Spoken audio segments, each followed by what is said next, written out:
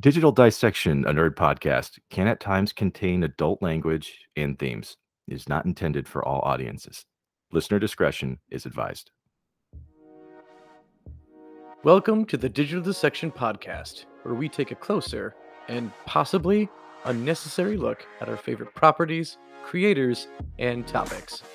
We are your humble hosts, Joe and Mark, two pop culture nerds dedicated to telling entertainment history before it's forgotten too soon. Join us on Facebook, Twitter, and our blog for more information on the show. We also love to hear from you, so why not write us at digitaldissectionpodcast at gmail.com. And now that we've got that out of the way, let's get to dissecting.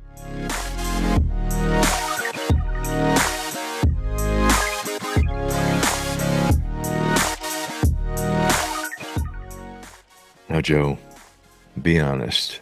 Mm-hmm. Were you aware that war, war never changes? I, I feel like it does though. Like it used to be like you know, Shh, shh, shh, Like- it, it, it never changes. oh, okay, Yes, just let it wash over you for a minute. oh, oh, okay. I will. I do. Yes, it's always the same. Never changes. Um, we- Because that is the claim that Fallout makes. War It's- never changes. It's it's a bit broad sweeping, but I think I know what it means, and that it's it's, it's kind of like I feel like the uh, it's more of like similar commentary that like Gundam likes to make over the fact that basically as long as as long as people are around, we are probably gonna always fight each other in some capacity, and that war is always gonna be uh, an existing reality. Uh, even though it may may look different and a few things may change, it's always just gonna be there. And it's true. I mean, I just saw you last Mhm. week and we're fighting the entire time. The whole thing. Yep. Yeah, we weren't even really eating. Like we're actually we were fighting through eating. I think. We were. Oh. It was it was it was like almost like a like a weird thing where like we'd eat and then digest and then shout and then we'd have to wait until we'd eat again to shout the next thing we wanted to. It was very very weird and almost ceremonial. Yeah, it was difficult to kind of be part of that, and I'm imagining anyone that watched us was just as confused and yeah, Yeah, just bewildered. wish- yeah, they were so, wishing they were somewhere else. But it is time for retro review. So we Mhm. are returning to video games and going back a, a little bit further than last time, right? We kind of have found this this sweet spot from about 1994 to 2013. hmm We've been we've been returning to that well quite a few times. Yeah, it's, it's and- almost as if that was uh, the, the the you know bulk of our gaming in our lives was from the mid and early '90s all the way into the uh the 2000s.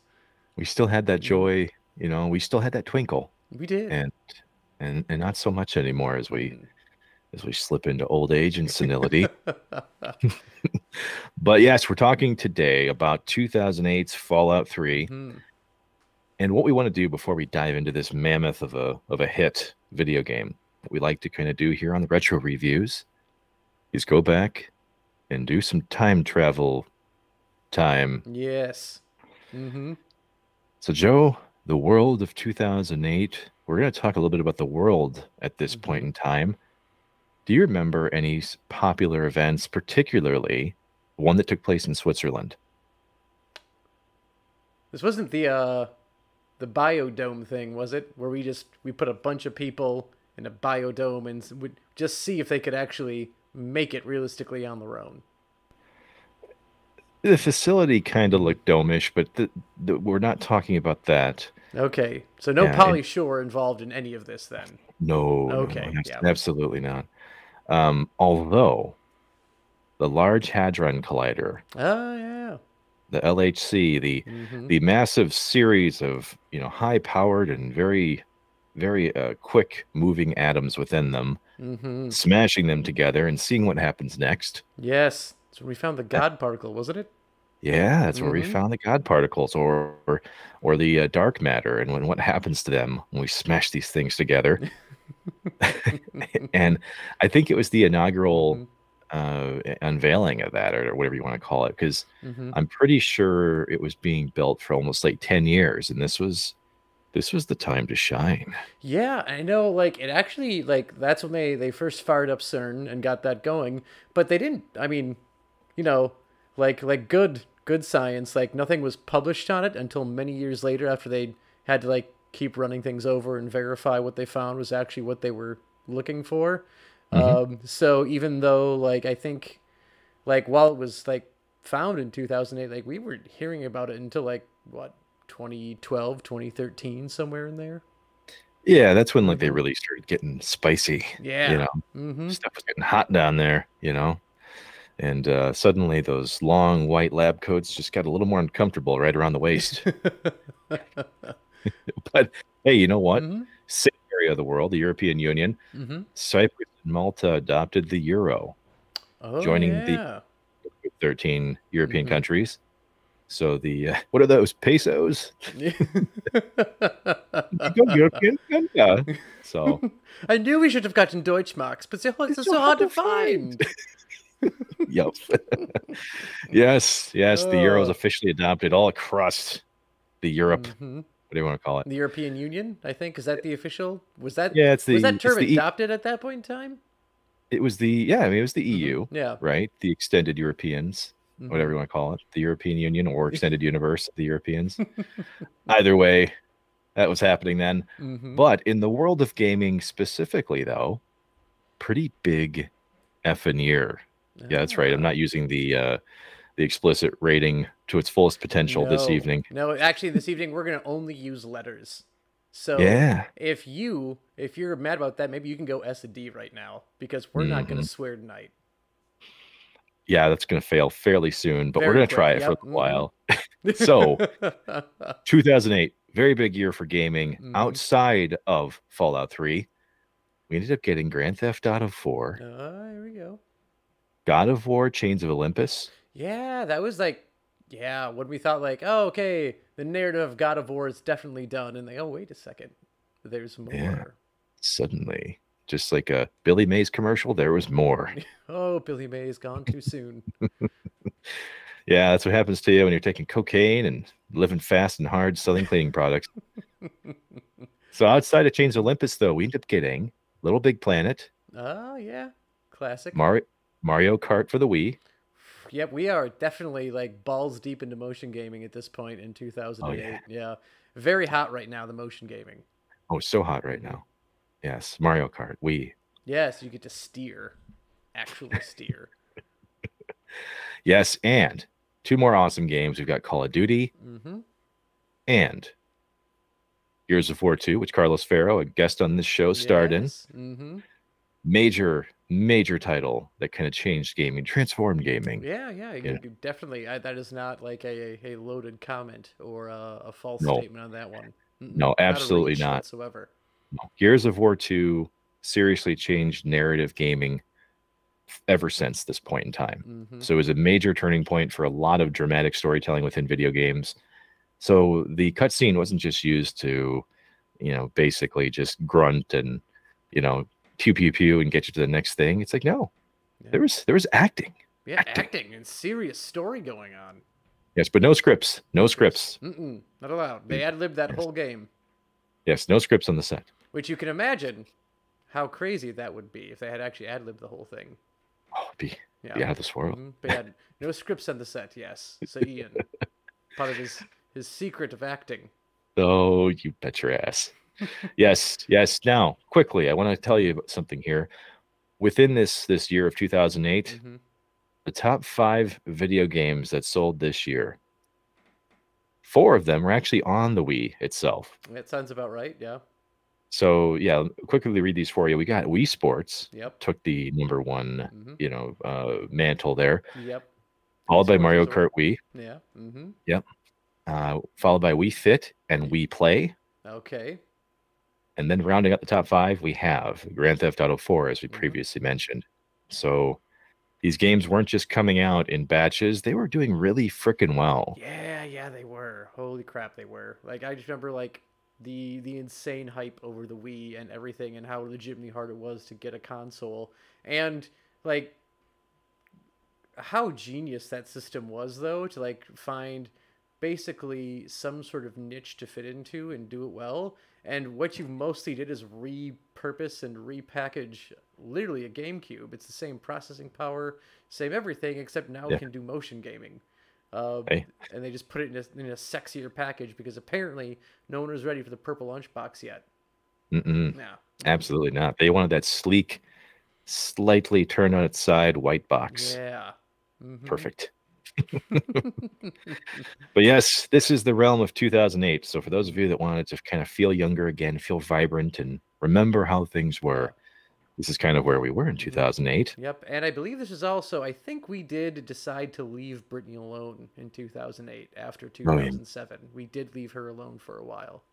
Yeah, we did. I, Mhm. I I remember that we were harvesting pop stars like it was a like a crop. Yeah, yeah, that was unfortunate. But Mhm. Kind of staying on that tone for a moment, though. Things that were unfortunate. Joe, did you know that there was actually more than one Fallout 3? Bizarre. So they they've made multiple versions of this game. Well, this is a plot twist that actually relates directly to a guest we had in this program. Oh yes. So our our friend over at Obsidian Entertainment, Josh Mhm. Sawyer. Now, b- back in the day, uh, this is the pre 2008 world, roughly about a year and a half to two years before Fallout 3 premiered. Josh Sawyer was actually working on what was supposed to be the next Fallout 3 game. Ah yes. Mm-hmm. Yeah. Now, for those of you who are dedicated to this program and have listened to that interview, at one point in time, Josh Sawyer worked for a studio called Black Isle Studios. Mm-hmm. Now, Black Isle Studios was obviously knee deep in RPGs, and we're talking about choice driven, customizable. I mean, we're talking the truest forms Yes. of The RPGs. purest, really. oh yeah, yeah, absolutely. Triple fil like triple filtered type of RPGs, right? Mhm. Yes. and then distilled one more time for Yes. safety. Yes, absolutely. Yeah, so that's what he was working on, dude. He was developing Fallout 3 before Fallout 3.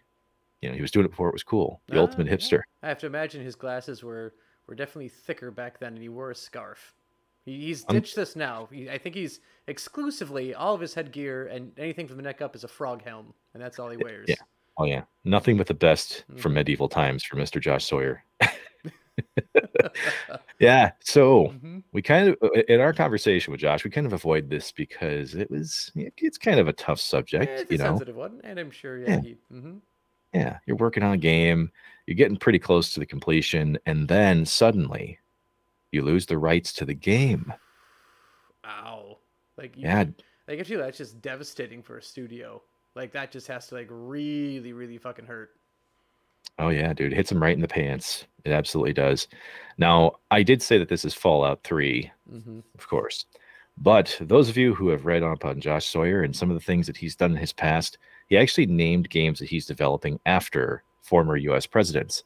That he did. So- Mhm. Yeah, this game went by Van Buren, hip to the whole scene right there. aptly Mhm. named, of course, after the US president.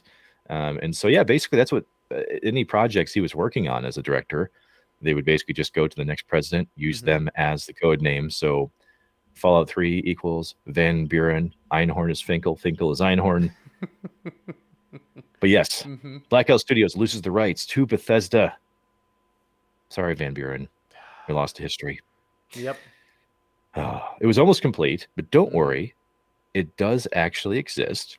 So you can find a playable version of the game, even though some of the assets aren't 100% complete, and some of the storylines also weren't completely finished. But for the most part, you can explore this game and exactly what it was trying to do. hmm So it was actually in the spirit, though, of Fallout 1 and 2. So if you remember, Joe, from our RPG history series, we've talked about the view of the isometric video game. So it's basically that kind of bird's eye type of view. hmm You know, you move on a grid, you have hit points, turn based combat. I mean, it was wild. Just, just crazy, wild stuff. Gaming Wild. gone wild, right? You turn on your your your TV at 3 a.m. back in 2008, you're going to see games gone wild. hmm Very an pixelated, and believe it or not, they didn't have to do that after the fact anything was made. It's just naturally how it was. Yeah, I can't, I can't jack off to this. this isn't this isn't sexy. It's just it's nothing but squares. Lots of small squares. Although it still may have awakened something in you. Yeah, But yes, so let's talk about settings for a moment here, okay? Because we talked about Van Buren, mhm. and now we're get, making our way over to Bethesda, purchasing the rights and now owning the Fallout franchise and what they're looking to do with it, right? Mhm. So, Joe, what do you think the biggest difference would be between a traditional isometric RPG and the new Fallout 3? Uh, I have to imagine, um, probably changing up the uh, the viewpoint instead of going bird's eye view. You're probably gonna be like, uh, it's going for the more of the first person shooter, which is becoming more of the the attractive look for video games at this time, and bigger world. And I'd have to say those are probably the two big things. There's a much bigger, more open world to explore, and first person shooter. Pew pew.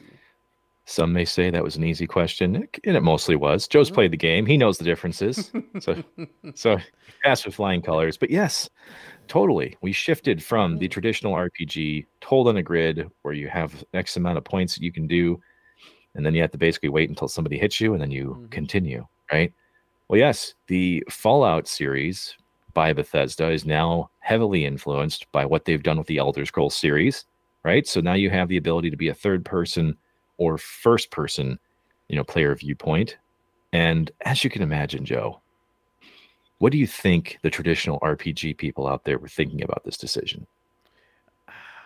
I have to imagine they were they were probably very very much the purist and, and enraged and saying, well, we're gonna we're gonna boycott this and we're gonna demand that we release the the Black Isle Studios cut and we won't be happy until we get it, and then we're gonna demand that Henry Cavill is Superman still, and we won't buy the game because we're we're still mad at it. You know, I mean, you're you're not far off, unfortunately. Yep. There was a Mhm.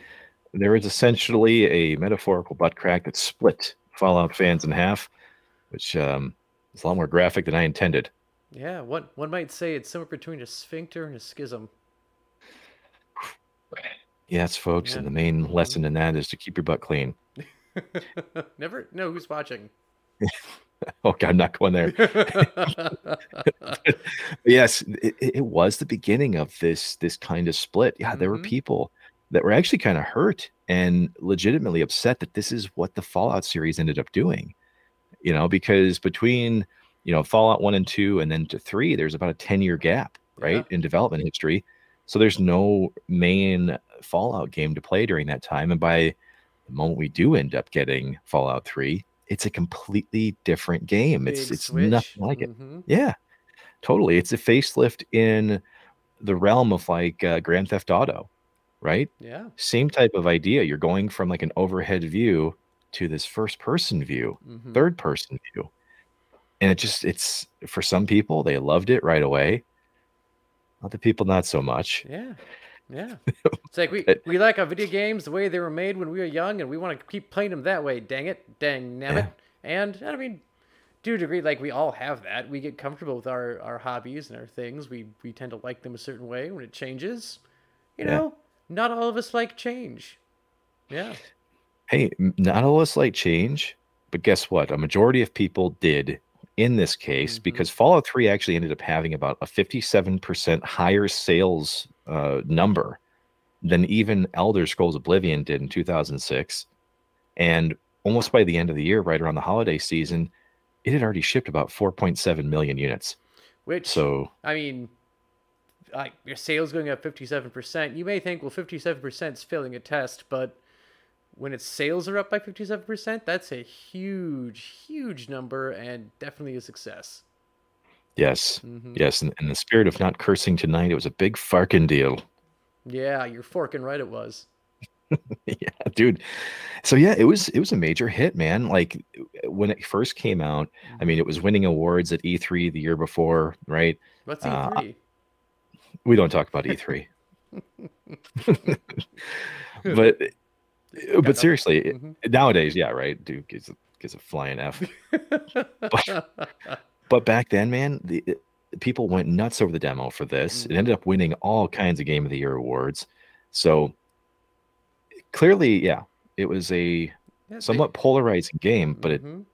but every but something people right. still loved Yeah.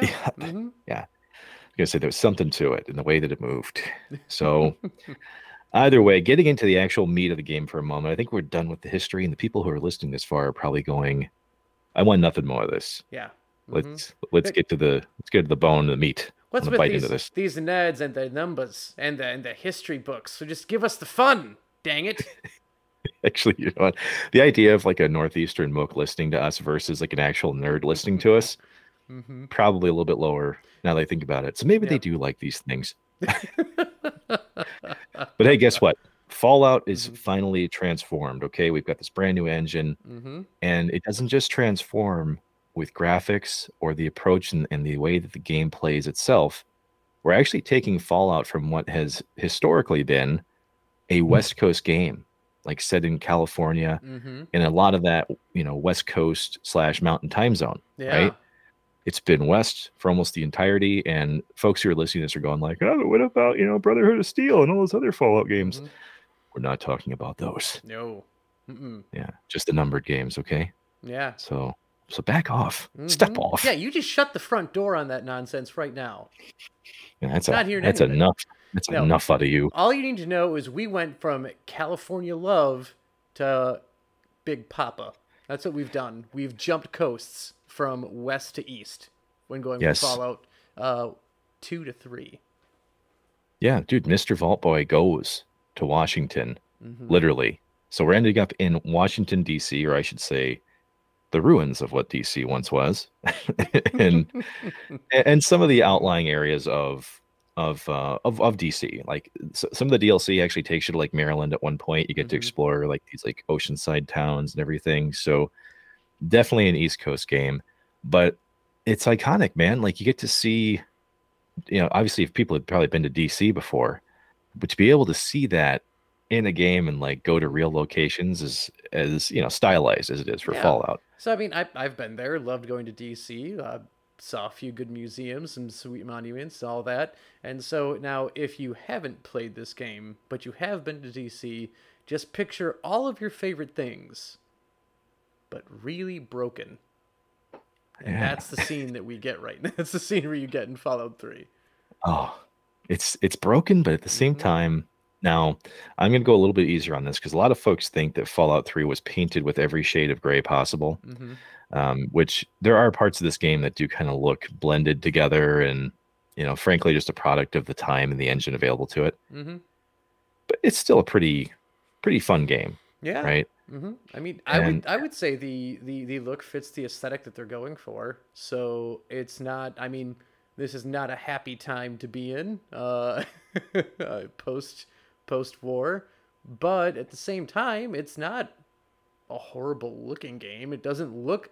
I mean, it doesn't look lazy or restricted because like Yeah. I, I think of things like again like Superman Returns. It was a good. uh, It's a game that meant well, but was clearly like, hey, this is a movie tie-in. We're throwing this shit. Dang it, this shiitake together. Haha, I saved it. um, uh, and it, it shows it. It really does. When you look, when you fly up above Metropolis, and you basically got nothing but these big brown colored uh rectangular prisms like ah this is what i'm trying to save and yeah, it's a bad geometry class but like this yeah things do look you know run down they look bad they look bad they look bad as in like bleak and dreary but you know that's what it's supposed to be.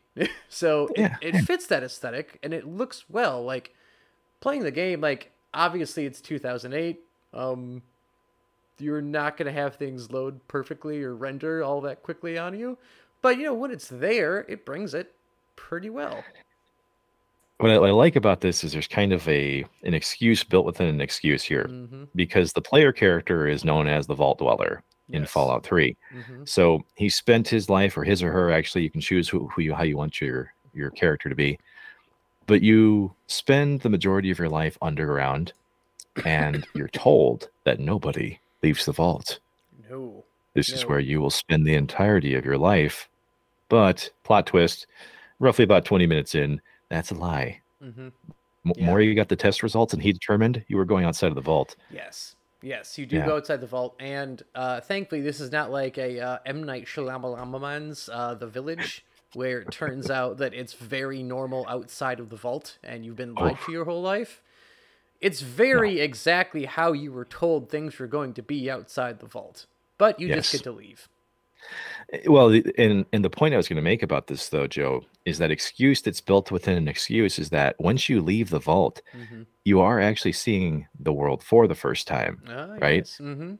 And the effect is so specific because once you leave the brightness of what the sun is poking through that irradiated sky, it's actually blinding to you as a character Mm-hmm. when you first get out. So it was really kind of cool that, as you mentioned, a brand new character interacting with what's a bleak world. Yeah.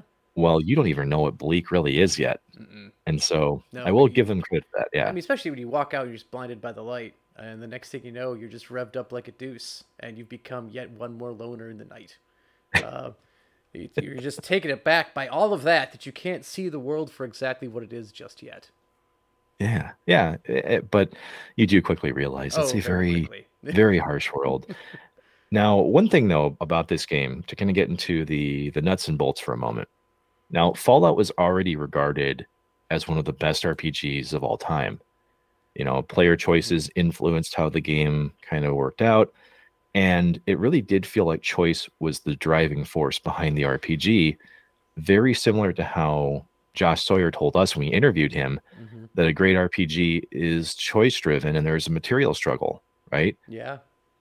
Now, entering into the world of, of Fallout 3, Mhm. that doesn't quite feel like the vibe that I think the original folks were going for. No. Because, I, I mean, to my knowledge, we played the vault very, very differently from each other.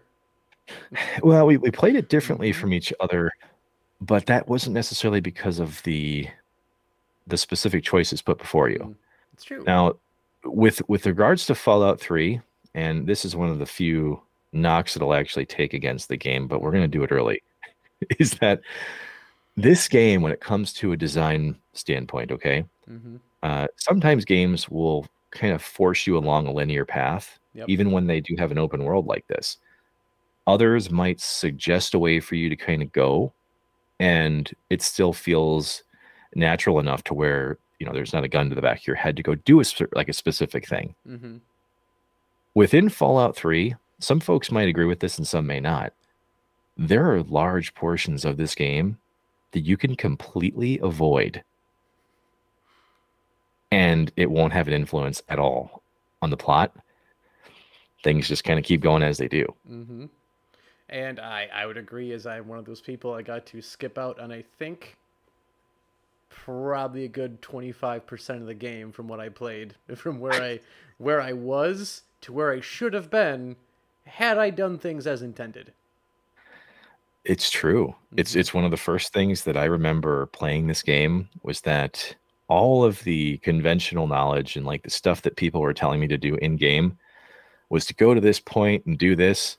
For some reason, I decided, maybe out of stubbornness, to just go the other way. Yep, you went your own way. That's yep. You got to go your own way. Just what it is. don't, they, they don't want me there, so I'm going. You know, like- So, I, dude, Mhm. seriously, it's for some people skipping that much of the game and kind of vaulting ahead, no pun intended, Mhm. I might mean, actually be okay. I think you should intend the pun at all times. It's a sign, sign of strength and aggression. Right? Yeah. Not aggression, but a sign of strength It's to aggressive strength. intend the pun. Yeah. It's true though. There are parts of this game, just like a lot of RPGs, that can go undiscovered. But if you're not careful with Fallout 3, there is a chance that you can skip, like you mentioned, almost a third of the game. hmm And that's incredible to think. Like somebody put that much time and effort into kind of driving you towards something, and you can just completely skip it. Yep, not doing that. Mm-mm. Yeah. So that's just something for folks that haven't played this game to kind of think about. Something to consider. Like Yeah. you've played a lot of games that Mhm. tell you to go to A to B to C. It's possible for you to go like A to G without even realizing it. It's true. and if you would like to realize how to do that, there are definitely videos on YouTube that will show you how to go from A to G and skip everything in Yeah. between. Which honestly is, I think, once again, this is another early knock we'll give to Fallout 3, is that Fallout has an extremely rich mythology that's built within to it, or within to it, within it, within to it. Within Good it? Lord, combining words. And within it, ridiculous mytholo- or mythology, lore, whatever you want to call it, hmm and that's a shame, honestly, if you skip these massive parts because every terminal, unless they're broken, every computer terminal, every note, everything that you can pick up, there's so much there that Bethesda doesn't really do enough here to kind of point you towards those things, hmm which obviously the Fallout worlds are meant to be explored, but we've changed that that that nature, right? So Fallout 3 does kind of suffer from that a little bit because we get a bit too much of the pew pew pew and not enough of the the narrative driven emotional you know story hmm uh, that that that sometimes Fallout is pretty much going to have. Yeah, and I think to a degree that still is there. There's a good narrative that's in this, that's a part of this game, which Sure. I mean, and again, like, I guess I don't know because like I I played through the game and I, I didn't even get all the way through it. I, I liked what I played, but there was a good story being developed uh, within this within the game, and I don't feel like I necessarily missed out on any major part of that story by skipping a chunk of the game. True. hmm The only thing I'm going to tell you though is that there are certain elements of exploring the game that will give you more insight into the player character's dad. And so, plot twist here, mhm. or for folks that have somehow managed to avoid this game for the better part of Mhm. 14 years, Yep. you And Yeah. by the way, your dad is voiced and played by the incomparable Liam Neeson. Oh, he, he absolutely is, Mhm. and uh, it's it's a great performance. And frankly, that's where I think a wasted opportunity is kind of here is that you don't get to interact with him a ton. No. Mm-mm. Um, but honestly, I think that's where a lot of the fun in the story does live is understanding how your dad got you into the vault because you didn't actually live there, Mm-mm.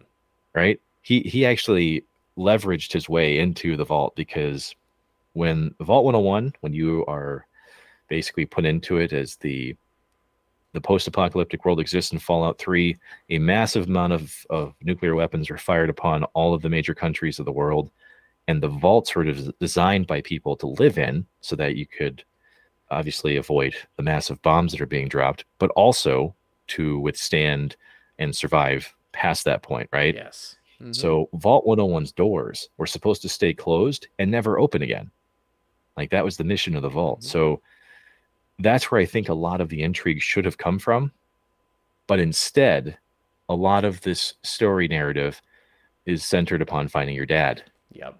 And not so much how did you get into the vault? Eh, Yeah. you f- you'll find out little things as you go, right? Because keep in mind, Joe, I've played this game for easily over 600 hours. Not even ashamed to say it. Mhm. I found a lot of stuff by multiple viewings and, and several helpings here. but but this is more to paint a picture for people to understand that this game is not a traditional RPG. It just isn't, No. right? I mean, there's plenty of cool things you can do in it that kind of resemble RPGs, like you know, looting things. Yep. You gain Uh, XP as you go along. You can Yeah. level up. Mm-hmm.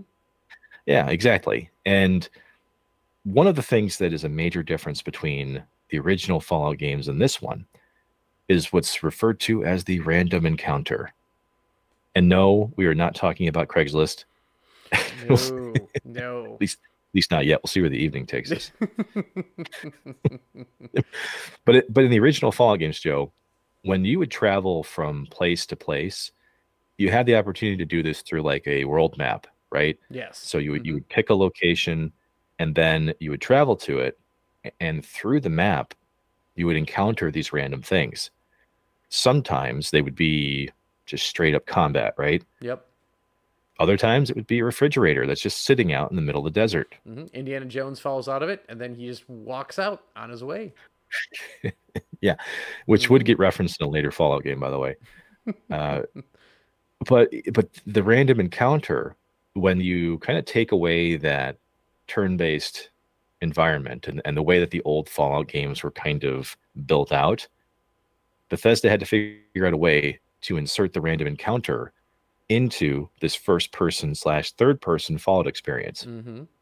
So you've played a little bit about this, Joe. I can tell you a lot more about what happens, but here's the thing the random encounter system in Fallout 3 does rely on fast travel to an extent, but it's much more based on specific, we'll just call them like progress points, right? Mm-hmm. So if you, for example, Megaton is one of the cities in the game that you discover very early on. If you go behind Megaton and walk like a few meters, you'll trigger a random, you know, encounter event. And that was one of the strengths of this game that I think did translate well from the old, you know, version of Fallout because it still kept the wasteland, you know, unpredictable, Yeah. right? hmm As it should be. yeah, exactly. Now, some people said that they encountered the same random encounters quite a bit, which kind of took away from what should feel like a random number generator experience. hmm The way I see it, if you play a game for that long, because I don't think most people are picking this up and playing it for like five hours and then being done with it, Mm-mm. Some of these encounters are going to become familiar to you. And I mentioned the refrigerator, right? Like the refrigerator does actually show up again in Fallout 3 and and, and Mhm. people are fighting over it, right? yeah. Um, but I think a lot of the complaints that came from how encounters work within this universe had little to do with what actually occurs in the game, and once again shifting to this purism route hmm and and being upset with it changing. Um, but yeah, if I had to pick a gripe on behalf of people that wanted to judge this game, Okay. it would most likely be one of your favorite things to do in it, which is using the Vault-Tec assisted targeting system, otherwise known as VATS. hmm Joe, Yeah. can you explain to the folks tonight what VATS is? I love VATS. Uh, VATS is basically so think of it this way: one of the basically key arguments against like first-person shooters uh, on consoles versus PCs is that PCs you can really put your mouse overhead, click, and boom, headshot. A lot of control there. Really great. A lot better. Whereas like you know if you're using your sticks, it's like yeah, ah, and things are running at you. It's hard to aim and it is much more difficult to pull off. So what you can do with VATS is by a nice quick hit of the R2 button, it actually goes down to a freeze frame, and you can choose what part of your body of the body of the of the target you want to actually shoot at. It gives you a percentage of the likelihood of hitting that spot based off of like how far away you are from them, what weapon you're trying to use, um, and you know the damage it could do to it. Obviously, I actually don't think I don't think it gives you damage, but like obvious things like if you shoot in the head, it's going to do more than shooting something in the arm. So, but you have a much better chance of hitting the chest than you do any other thing. But Yep. you know it, it's nice because it slows it down, so you can literally like dogs jumping at you, hit the vats, slows it down where the dog is just frozen. You can select the head, hit R1, and then boom, you, you hit you hit X however many like shots you want to take at it. And VATS does have like a recharge meter, so you can't just like use it super willy nilly because it does run out on you. So if you use like I think it's like good for like four shots for the most part. So if you use all four of Yeah. your shots um, on one thing, then something else jumps at you, you can still freeze frame it, but like it won't let you actually shoot. So you've got to go back to the traditional actually trying to shoot it with just the sticks. Which, as a feature, I think it's great. Mm-hmm. Um, for me, the first time I played it, actually, like when I played this, when I played Fallout 3, not one and two, because I understood what how to play a turn-based game, but when it came to Fallout 3, for some reason I didn't actually use VATS in the tutorial. And so I was manually shooting at stuff for a very long time. Now, after figuring out how to use VATS, I understand about the criticisms of essentially having a permanent crutch in your gameplay experience because once again, we've removed a lot of RPG elements Mm-hmm. out of Fallout that critically like made it what it was. And so VATS was kind of an extension of that. People went like, this is making the game so easy that it completely nullifies a lot of these other things that they tried to do. Now, we haven't even talked about the skill system or the perks. Mm-hmm. And and perks have been a mainstay of the Fallout experience since the beginning, where you can pick out things that either kind of augment your character uh, with like unique abilities, or to help you know like rise up on certain skills and you know kind of vault you ahead there. Once again, no pun intended. Uh, no, I, sir, do not hold back on the puns. You just let them fly. well, either way, the the DNA of the Fallout games on its face appears like it still lives there when you look at the skill system, mm-hmm. right? There are things like lockpick and uh, you know gun efficiency and explosives and speech, all the things that are known to be in these games. But truly, in a Fallout game, it was weird that you could literally solve the majority of your problems by either having a strong lockpick or being able to shoot the hell out of things really well. well, I mean, and, I think those are just the two skills you really just need. Everything else is, I mean, a post-apocalyptic wasteland. What are the two things you want to be able to do? Break into things and shoot things well. You can do those. And I think that's the real skill set you need. You don't need some sort of bizarre, like post-apocalypse university on how to, you know, cook a proper meal because like you're just gonna put whatever you want to over a fire anyway. So why not be good at shooting and, and breaking into stuff? It's true, mm-hmm. but you know, like the first time I played it, I wasn't actually very judgmental of this stuff. Mm-hmm. Like it was just fun to me to go, oh, okay, well, I'll just put my skill points into science so that I can hack the next terminal, right? Yeah. Like like that kind of stuff was uh, fun for me the first time. Mm-hmm. But as you play this game more, and you build characters because something that was fun about the old games was that character builds like in an rpg sense actually did things you know like if you wanted to do like an unarmed character build that just fought with their fists and and and some of the augmented you know melee weapons mm-hmm. you could do that and obviously suffer the consequences but ultimately you could still play a game by doing character builds like that in Fallout 3, character builds don't necessarily, I would say, matter at all. You know, doing a character build where you uh, put a whole bunch of your your skill points into, you know, let's just say unarmed, for mm-hmm. example. Mm-hmm. It's actually numerically possible to get every single one of your stats to 100. Ooh. You, you can max, max out every everything. single okay. every single skill so it doesn't really matter in the in the the grand scheme of things uh, so when like for those of you listening or watching since we're both an audio and visual mm-hmm. program here joe and i played this game together and i've obviously had a lot of dash time with it joe hadn't mm and so i was trying to gently nudge joe in directions here that i thought would be the most useful because truly you could bury your skills into or your number your uh, your skill points into like six skills and they can carry you through the entire game, right? Like speech, yep. lockpick, science. Um, you know, th- those are the big three, right? Mm-hmm. like, like once you have those, you can open any door. You can, you know, you can go anywhere, right?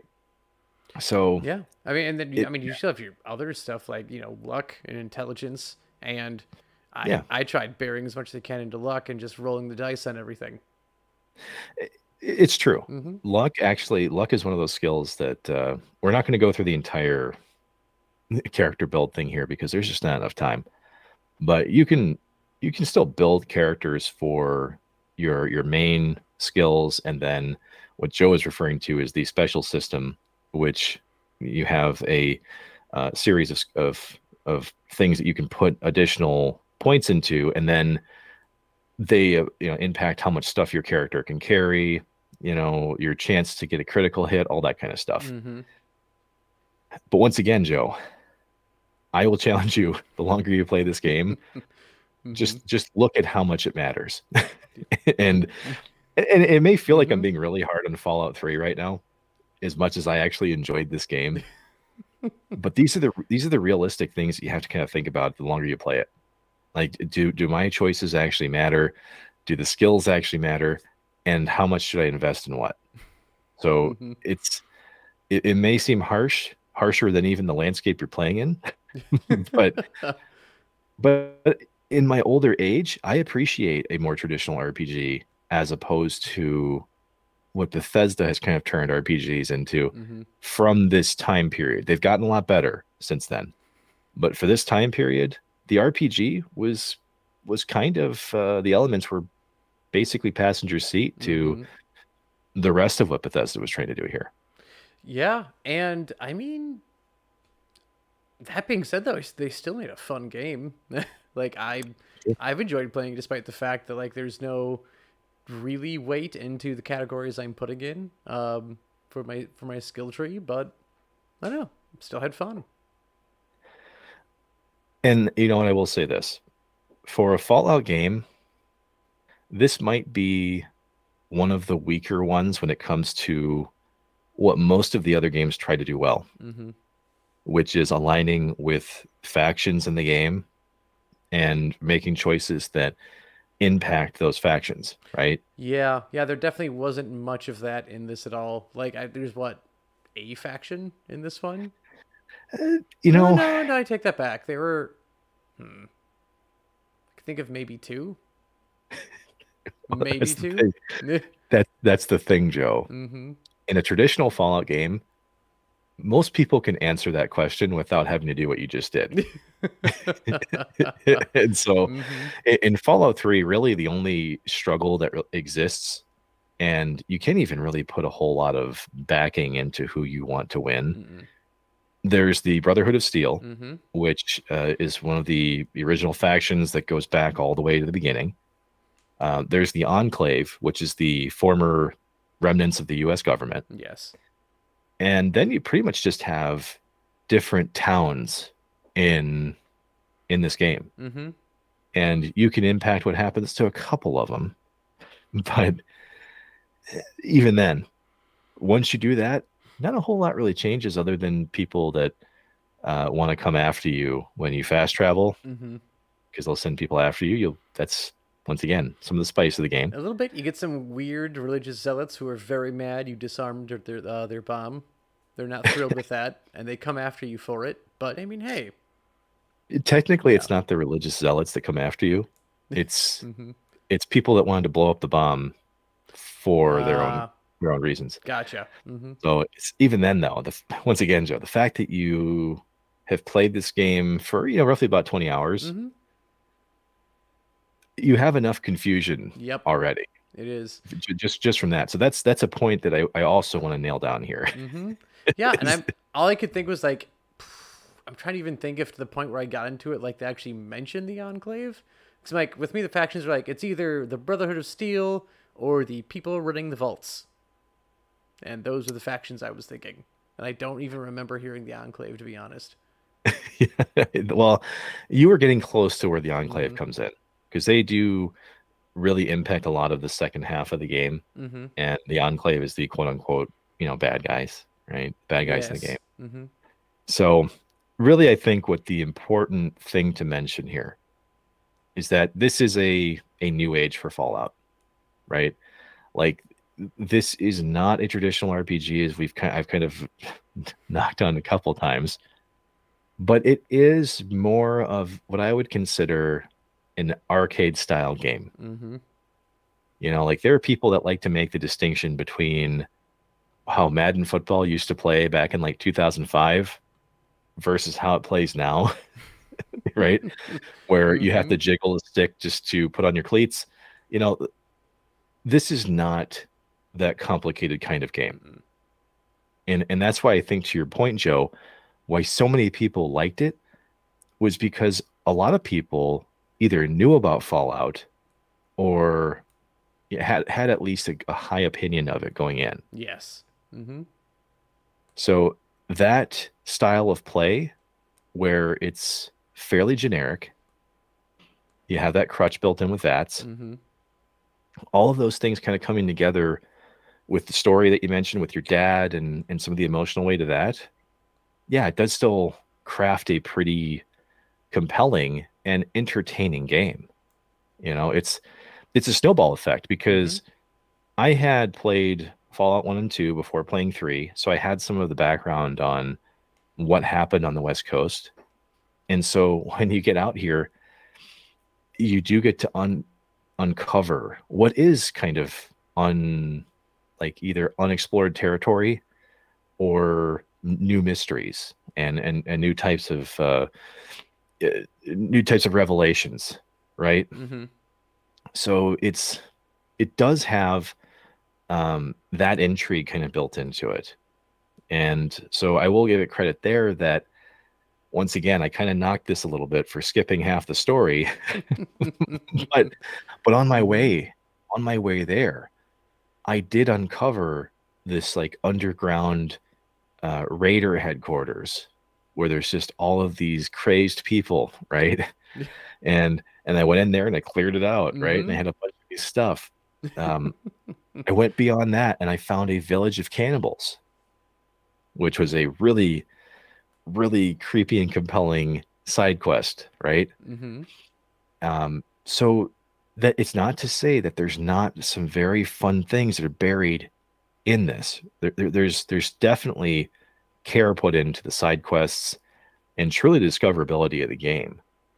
So I say that the, the map is huge for everything that's there. Like there's enough of like actual like DC proper to explore and then of course like the outlying area, which I think I barely even touched on when I played.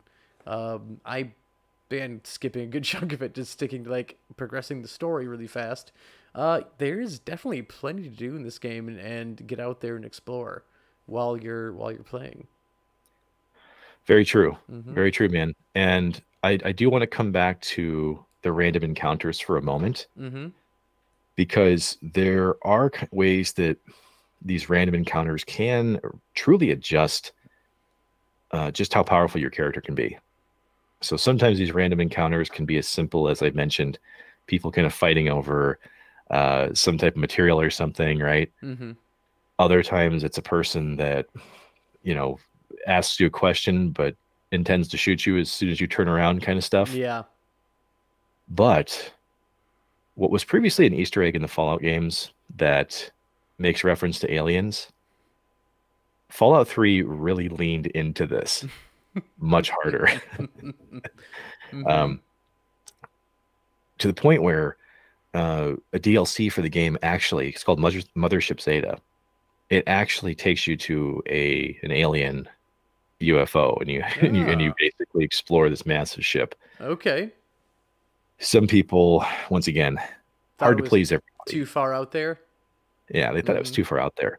But as it pertains to a random encounter, though, there is a possibility to trigger a UFO crash. Ooh.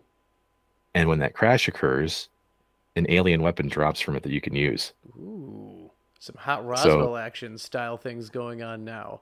Okay. Yeah, yeah. So like the game, once again, there's enough mysteries here. There's enough fun things that can kind of navigate you past, you know, some of these problems, mm-hmm. right? Or some of these issues that people have brought up, like myself and others. So I think what the real takeaway here, if we want to talk about this game and the legacy of it, because we do that a lot, don't we? We, we always kind of talk yeah, about like what, what's its impact on on society at, at, at large was post. Mm-hmm. I, well, I tell you what we'll do here. Um, I will wait I want to know what you think the legacy of the game is based on what you've experienced and really just what you've heard about it so far. Well, I mean, given that this franchise more or less stuck with the formula that this game brought on, obviously, like we said, they, they tweaked it so that like your decisions matter more, like actually like assigning points to different parts of your skill tree actually affect how you can play the game more. But I mean, those were like logical things that would have to happen. Like there are going to be holes in how a game is made. Um, there are going to be issues uh, to be hammered out as things go on. But they did that. So I think what this game was did for Legacy is it completely changed how like a lot of modern RPGs work uh, for things uh, switching away from turn based and going more towards what we have here this open world, not a grid, not like the the traditional even like JRPG run into an encounter and your party is there and there's a bad party, things like that. And even then, like I think like with discuss of like how like Fallout worked and then how like Borderlands worked because of how Fallout worked. Um, that you even saw JRPGs change uh, to this more fast-paced style of RPG where Final Fantasy doesn't really resemble much of what that used to be because of games like this. So I think it had a pretty big impact on on the genre. And i think that's its biggest legacy is that it really did change rpgs from this traditional thing that we've had uh, since more or less really the 70s um, un, up until this point. And there's almost been no looking back because for the most part we don't get that old turn-based rpg anymore. It's very true. And i think that could just be maybe a natural progression of what gamers found interesting mm-hmm. and I, and I don't I don't want to alienate RPG like traditional fans because there are still companies making traditional RPGs mm-hmm. in this vein as we talked about Josh Sawyer's contributing yeah. to to those as well as a lot of other companies still mm-hmm. so the avenue is still there but yes I agree with you that Fallout 3 specifically Bethesda's efforts with it ended up creating a more general consumption view mm-hmm. of the Fallout universe right? Like it, it didn't feel like it was uh, gate kept anymore from folks that just played computer games yep. versus console games. You know, mm-hmm. like we we kind of got that that middle ground now. And Fallout was a popular series, like we mentioned before. But if you walked up to a person, you know, pre 2008 and said, Hey, have you played Fallout? Very high likelihood they didn't. Yeah, big no. And I, I definitely was one of them because I I did not play Fallout 1 or 2. Yeah, and a lot of people, mm-hmm. a lot of people didn't, and then went back after playing 3 mm-hmm. Right. So there is that interesting effect of two completely different styles of games influencing each other, because now you've got people that that played this and maybe found the old stuff. You've got people that were purists with the old stuff and decided to stop there. Mm-hmm. You know. So I will say that overall, Fallout 3 helped make this become easier to consume for people. There's a lot of folks that play video games that will never touch RPGs because it's just not their thing. Yeah. Fallout 3 made it easier to be a part of that mm-hmm. that or that world. Make it interesting. So given given that, I, I will give them credit that it is a fun game. There's a lot of stuff for you to do, a lot of things you can uncover, and I told you I played this game for 600 hours, Joe. Not exaggerating. Even on like my 10th playthrough, mm-hmm. I still found things I didn't know about. I believe it. Again, like it's it's just a huge game. There is so many things to do. And again, on top of that, like again, random encounters. Who knows exactly how many things? I mean, there are people who do know because I'm sure they've they've data mined it, they've looked into it. But like the amount of like again, how many random encounters are there? And what exactly can you experience each time you go there? And how long will it take for you to even see something new? You may think it you may have like oh i've seen all the random encounters and it turned out you maybe just kept rolling the same thing over and over again and now you get something different when you play through the 10th time. It's very true and joe there is a seinfeld reference in this game that a lot of the top 10 lists will usually point out. I'm not sure if you're familiar with it but I guess I'll just ask you bluntly: Do you know what the Seinfeld reference is in this game? I'm gonna say there's probably a car ruined somewhere with the plates that say "Assman" on it. I, you know what? I, I, actually wish that would have been it. uh, okay, so you might notice we've been pretty clear about not getting too far into the actual plot of this game because mm-hmm. we still don't want to ruin it. There are people no, still find this, this game later but the Seinfeld reference in this game, there are characters in these games, this game called super mutants that are, you know, mutated humans that you learn a lot about. Okay. Mm-hmm. So we're not, we're not going to ruin that. No. But there is a very specific super mutant that walks the wastes whose name is Uncle Leo. and you can encounter him up to I think three different times. Oh my god! And if you if you encounter him and don't say hello, does he get mad about it? he doesn't. No, Mhm. Okay. no. Just just because of how the super mutants tend to be, um, their brains are mush. Like they they're not very smart. But it, it's it's it was one of the most funny things I saw uh, in the game when I first played it. And I'm like, Mhm. this character is literally named Uncle, Leo. Okay. yes. But I, as I say that though, one of my favorite quotes from a video game actually comes from Fallout 3. Mhm. And oddly enough, it comes from one of the few super mutants that can actually speak or can actually give you uh, lucid thoughts. Okay. okay. The only reason why I want to call it out is because we're just about to get to the actual review time. And going into this, I want to slightly give you uh, a hard hitting quote from this game. Okay. I know this is influencing the score potentially, but character of Fawkes, who's a super mutant that you run into later in the game, hmm uh, aptly named after Guy Fawkes. For those of you who uh, are familiar with the the old uh, icon of history, V for Vendetta influence, all that stuff. hmm Fawkes says in the game that in all things a calm heart must prevail. And the first time he said it, I was just kind of exploring the wastes, and he's just kind of talking to himself. And I'm like, oh my god, that's hmm that's like that's like poetry. Yeah. and you know, as I'm sitting there covered in like potato chips and you know my shirt's halfway up, you know. But it- I will say that like this game can feel like cookie cutter to an Mhm. extent, but there's personality right around the corner. So Yeah. Take from that what you will. I think just like the real, real Guy Fawkes, you know, in all things, a calm heart must prevail. So let's blow the fuck out of Parliament to restore power to the Catholic Church. well, Yeah. yeah, yeah, that's that's commentary for another day. But as retro reviews tend to go, it is Mhm. time to give out some points. And this episode of Retro Review, we're going to use for our unit of measurement here, out of a possible five points, will be the bottle cap, which is the official currency of the Fallout Yes. universe. Mhm. There is old world money that you can collect and use throughout the game, but it's the bottle caps. Yes. That's what the people. That's what gets the people going. yes. So it gets them all It's hot and provoc- bothered. provocative.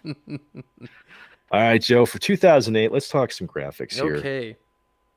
Now, what do you think of the graphics of Fallout 3 compared to others of the time? We talked about game or we talked about God of War, talked Mhm. about Grand Theft Auto. What do you think of the graphics? graphics wise this one and i know like i was i was i was fairly nice to the look of this game much earlier in in the episode saying that you know it is a bleak world and therefore should look bleak and not just like varying shades of gray like eh, it's got blown to hell what do you think it's going to look like um but that being said like even comparing to like god of war like i remember like god of war 3 which was before um chains of olympus and I thought that was a cleaner looking game. so Yeah. looking at that, like, I feel like this is a game like I, I, I don't know much about like I, other than what we talked about with development history about Bethesda getting this, and I don't know if they were like pushed for a deadline because obviously like part of the way that you could actually skip most of the game is that you literally fell into the map and could walk and physically go underneath and through buildings that you're not meant to even they're just not meant to be accessed or gotten to. Um, so here i think compared to other things at the time i'm gonna give this like probably a solid like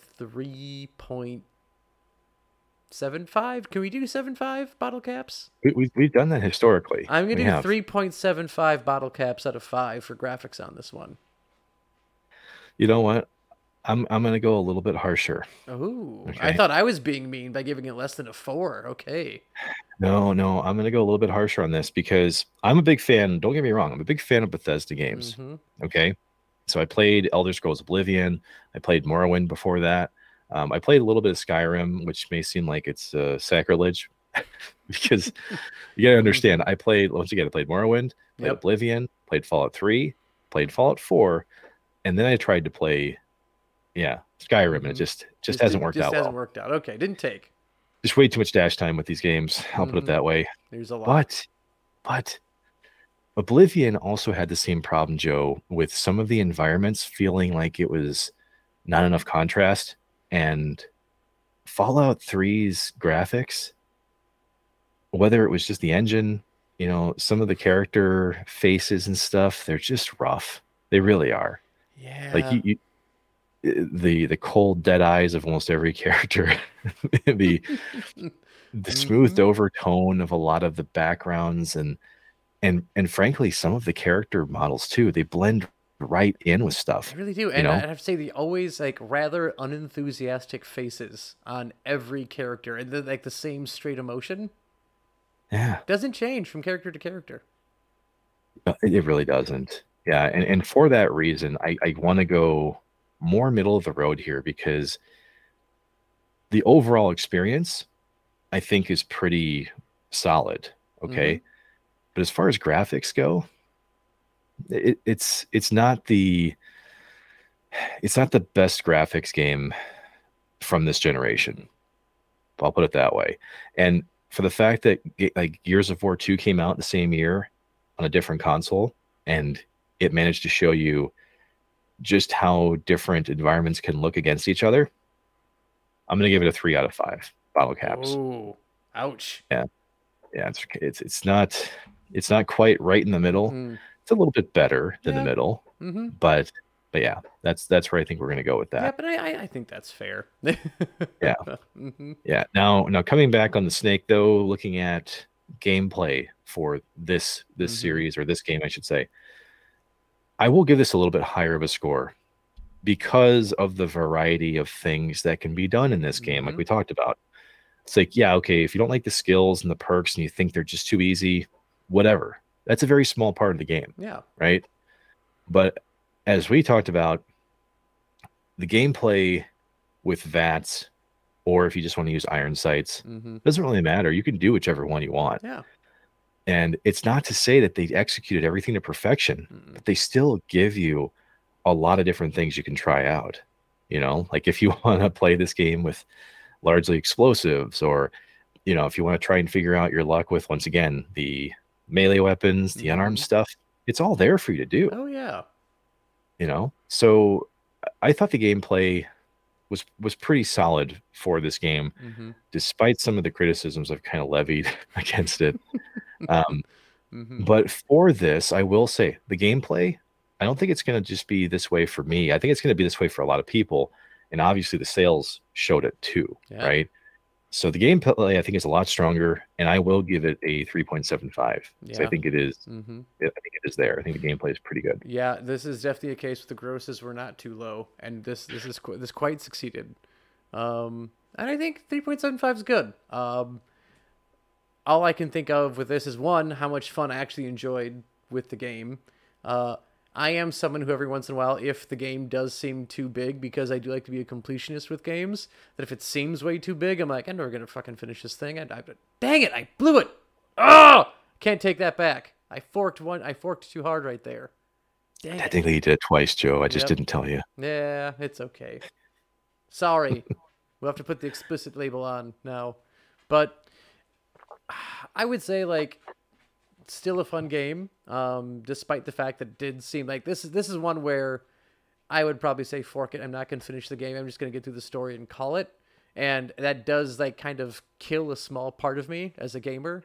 I die a little bit inside each time I say that to a game. Like I'm not gonna finish it. I'm just gonna beat it and call it a day. Uh, so that doesn't keep me happy with that. So if you're in that same boat where if a huge game seems like it can overwhelm you, that's gonna happen. And I also have to think uh, from also the standpoint over like obviously like I, I just talked about how like thanks to a glitch of falling through the map, you can actually skip a good chunk of the game. Um, but I'm just also thinking like, what if this is like an Assassin's Creed Unity for me, and I find that and I don't know what's going on, and then what it really did is actually just make me lose progress in what I was doing and make me mad, and how frequently that can happen in this game. So I feel like if you are like picking this up with the intent to play all the way through it and something like that happens and now you've got to actually like you know go back to where you were before because this is a game where I don't think it has um automatic saving, does it? It does. Okay. But a lot of that is based on fast traveling. Yes. Mm-hmm. You know, uh, and so like you said, there is a possibility for you Mhm. to, you know, maybe run for uh, a good ten minutes in game, Mm-hmm. not encounter anything, right? Yep. And then Die, and then have to go back in time and Yeah. start back over. So that, that there is that real Mhm. possibility. I mean, you can still manually save. Oh yeah. It's So an it's important thing to do. it's the idea of having to go, you know, even for then, like going making making sure you did manually save, otherwise you got to go back quite a bit. Um, Oh yeah, that I would say, but I'd probably go like three and a half bottle caps on this one. Um, for gameplay. for gameplay. Uh, still a lot of fun. Re- I enjoyed what I had. Vats actually uh, was a part of this I really enjoyed. Um, Oh, okay, as cool. someone like that, that actually like heightened the gameplay for me quite a bit. And the fact that again, if this is like the game is absolutely huge, and Vats is something that I think uh, for someone like me who wants to complete a lot of it, or in some cases, I'm gonna just go through it to get the story and see what happens. Vats is awesome for that because it's gonna be it's gonna speed things up. You're not worried about necessarily having to, you know, survive a skirmish when you know if you time it right and use the system properly, you can come out of most scenarios just fine.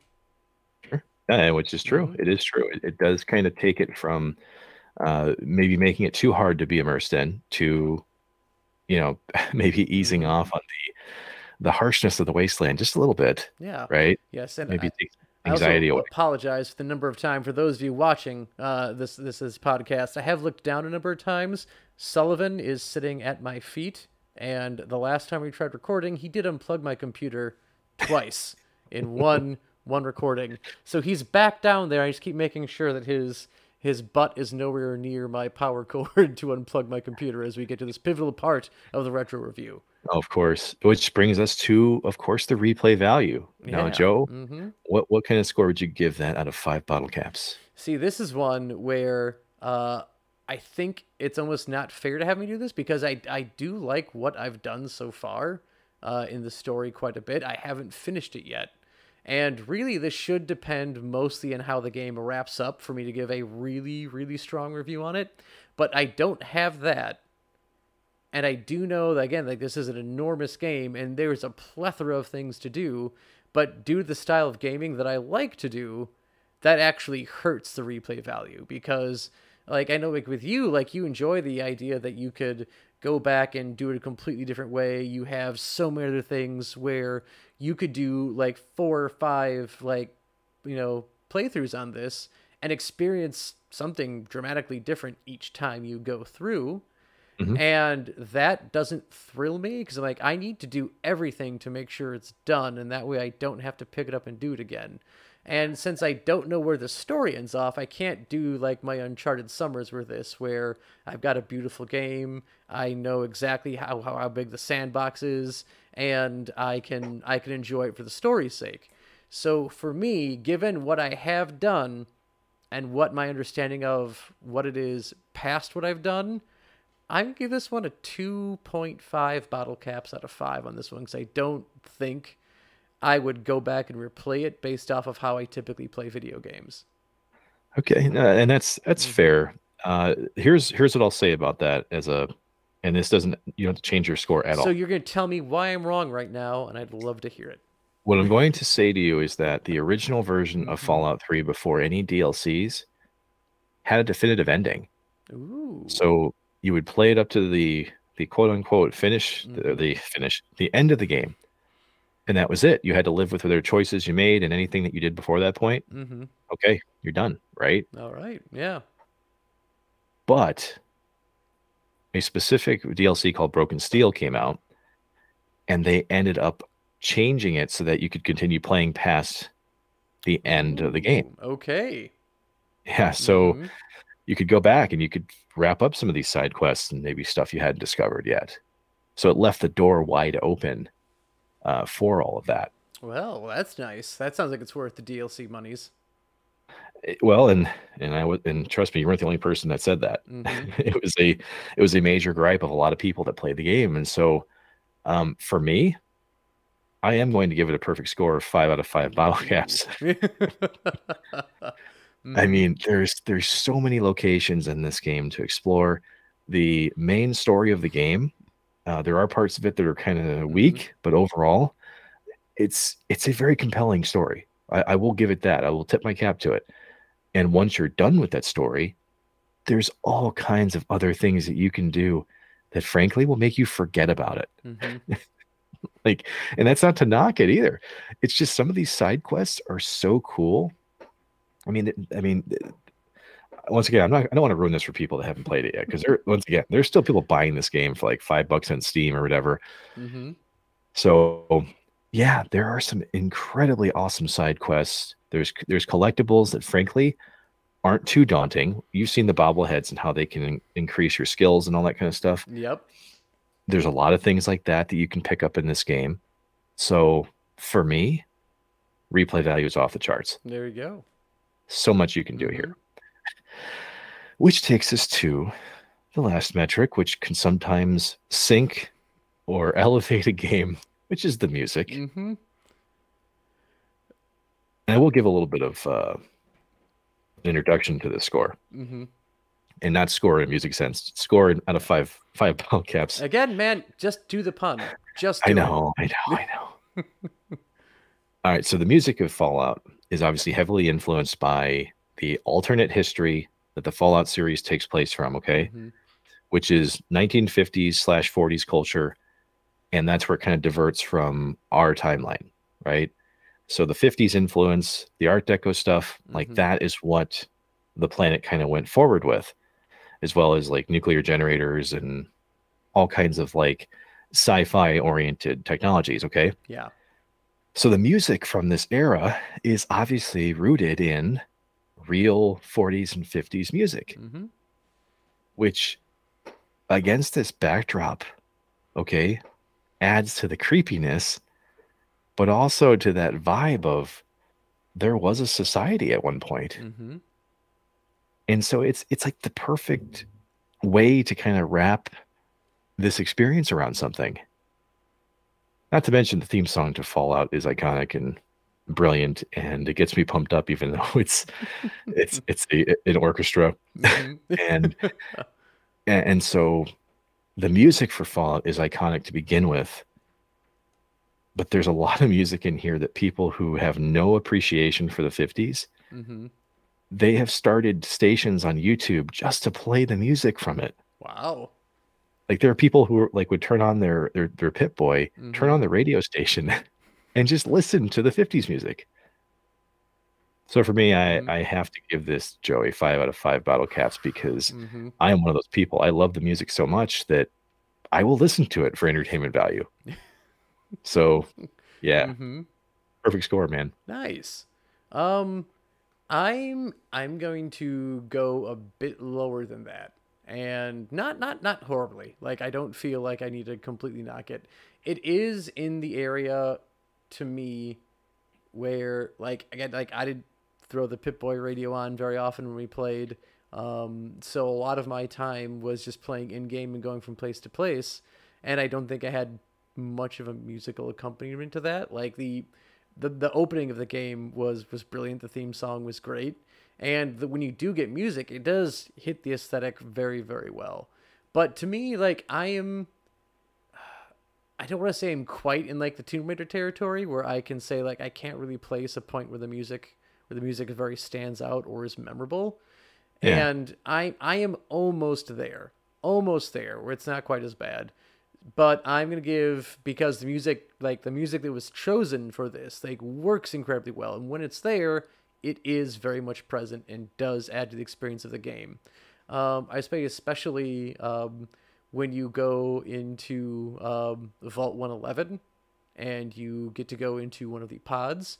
That like that music sticks out and stands out. Oh, very yes, well. yes, the Tranquility Lane. Yeah, Mhm, yeah. Yep. And that's where like that that fit perfectly. Like this this works. This is great. Um, but other than that, uh, like there are points where there's just a lot of time where there is no music. Um, and I think of like some games that do that, but then suddenly when you encounter um, uh, like um, a villain or something else, like you get like a small ramp up of music, and when the encounter's over, the music comes down to let you know that you you can progress on, and you don't get that in this game. It's like nope, if you didn't have music on when you went to fight it, it's not there now, and that's Sure. where I think it, it also takes a bit of a hit for me. So I'm gonna go with this one with four bottle caps out of five on it.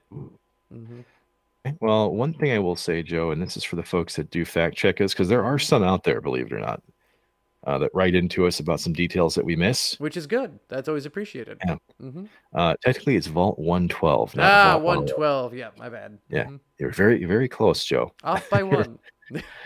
Yes. Well, that brings us to our final score. For those of you that know how to do math, this is anticlimactic for you.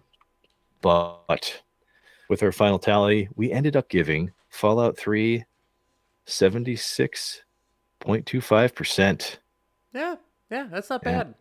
Mm-mm. Yeah, 30 and a half points out of a possible 40, which technically makes it a better rating than Tomb Raider, but mm-hmm. sits as the second lowest game that we've scored so far. Oh, I mean, I, I really do think that some of the things I said in the beginning may have seemed really harsh about Fallout 3, but there's a lot of truth to it. yeah. You know, like there are people who are critics of games just to say negative things, but there are people that had legitimate gripes about this game, how it was created, and like what the the core elements of it were.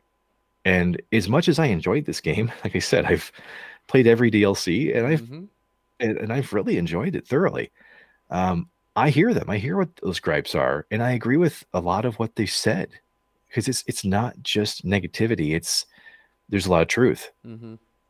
But ultimately, though, what I think about Fallout 3 is that this is one of those rare games that may not stand the test of time for gameplay or for graphics, I should say, Mhm. but it will stand the test of time for the gameplay itself and for the things you can explore and do within it. Yeah, I And there's yeah, I, so much. I agree with half of that statement. Yes. Definitely, like the explore game, like that's gonna overwhelm me. But I'm shutting down, I'm not doing it. Just get me through the story, and I'll have fun along the way. But definitely gameplay. Um, again, like especially compared to video games of the day, it responds very well. I don't remember ever like feeling like there were dropped inputs or like, oh my god, it didn't shoot when I said it was supposed to. Um, it's a fun game to play, and like I'm really again, it- it's I'm kind of happy to hear that there's still people out there like discovering it on Steam or going out and finding it at GameStop or res- or local video game resale and picking it up for the first time, because I would definitely recommend that. Um, especially if like if you're maybe you haven't played any Fallout title and you're looking to get into what the games are like, and you can find this like you know for what five ten bucks at at a resale shop like take the chance on that like it's it's worth the five or ten dollars despite it being you know an older a significantly older game at this point so Yeah. definitely definitely worth your time if you haven't picked this game up Totally. And, and I, I agree with you. I really do. Uh, for people that are brand new to this, that are just picking it up for the first time, Mhm. I truly think if you live within the era that this game came out and not tested against current graphics and current gen, you seriously will love it. And there's a lot of people, if you just go to social media, if you check out Twitter, they're still discovering it for the Mhm. first time yeah and really loving it. So, um, so with that, I really do think um, this is a great game. It's a Mhm. wonderful experience, but there are some very clear problems that exist within it. And so, I guess you can tell us whether or not you agree, and I'm sure some will.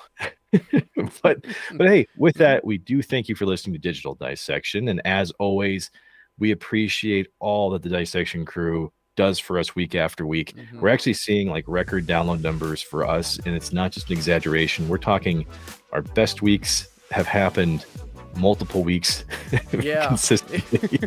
so Mhm. it is absolutely incredible. But hey, you know what?